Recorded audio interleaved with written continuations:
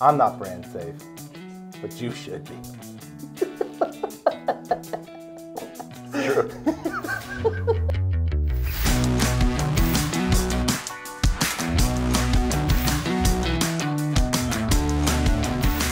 hey, welcome back to Thinking Out Loud. I'm Joel. And I'm Erich. So today we are we are close on the heels of a little scandal of sorts that broke. Um, Another scandal in a of sorts. series of unfortunate events. So, um, what scandal, you ask? Well, I shall tell you. It is, of course, uh, very large advertisers of the mm, AT&T, Disney, Nestle sort. Um, Epic have- Games. That's Epic big one. Games that have once again pulled all their advertising from YouTube pre-roll. Why did they do it this time? Look, uh, this has been an ongoing thing. In 2017, they YouTube was having a problem of not being able to correctly pair um, pre-roll with safe content that is, Mm. you know, going against uh, politically charged, dare I say, like very bad it was the content. terrorist stuff. I know, very was- bad. This is even worse and harder for YouTube to control because on the face of it, it's against, it's running advertising pre-roll against very nice, very clean children's content Yeah.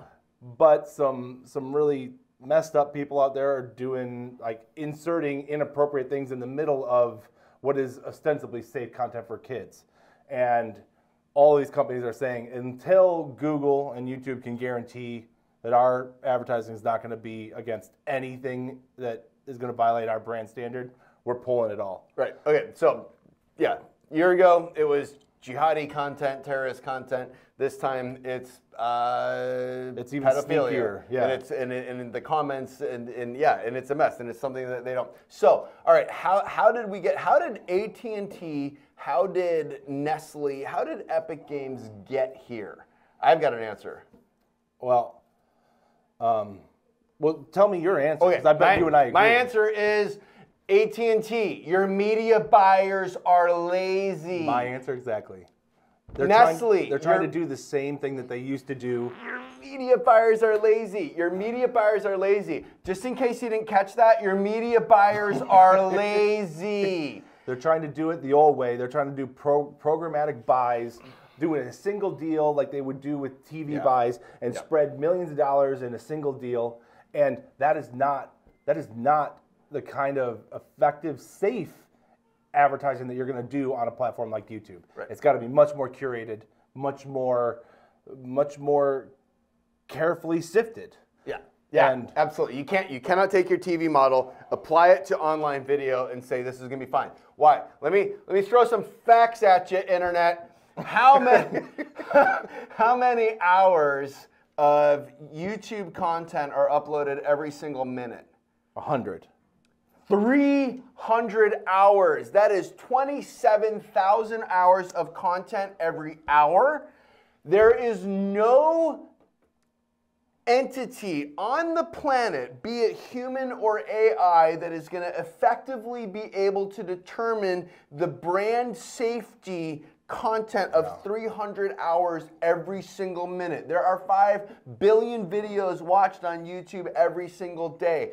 You're not going to know where your ads are running unless you pay attention and don't let your media buyers be lazy. He's yelling at you. I am He's yelling, at you because it's amazing that AT&T is like, oh, how did this happen?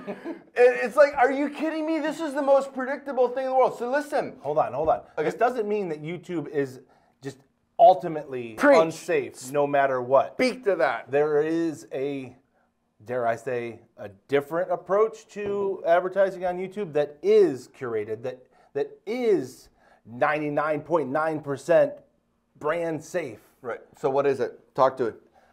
every every host that we work with, every show that we run an integration on on behalf of our clients, on behalf of CMOs and all these different brands who want to tap into this audience, to tap into this platform, we're previewing the the spot before it goes live.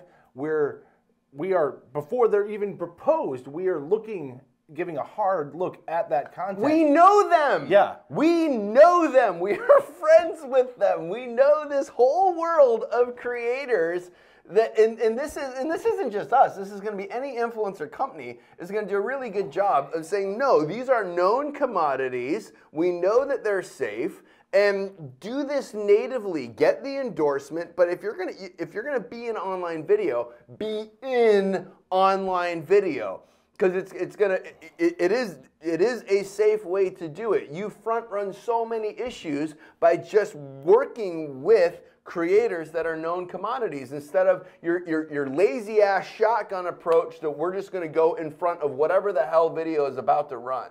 But even I, I need to take it one step further because even if I don't have a personal relationship with the channel, because I'm always meeting new channels, we're always we're Sure. always out meeting and contacting and and conversing with new channels, we're looking at all of their content. Right. So Right. I no, I'm not best friends with them all, but oh, if I'm going to go I am. find I'm going to go find the right channel or the right the right show or the right host for the opportunity that that any of these brands are are looking for with this creative campaign and and there is a br- there is an essence of brand safety but yeah if you're going to be doing this do it in a way that is appropriate for the platform don't think you can just apply this formula and overlay it Yeah. here and expect the same result Yep. and Yep. stop being lazy Yeah, stop being lazy. Okay, that's it for us. Um, Kate wants you to follow us all on social media. i um, want you to follow us all on social media i do but mostly Kate. oh you're right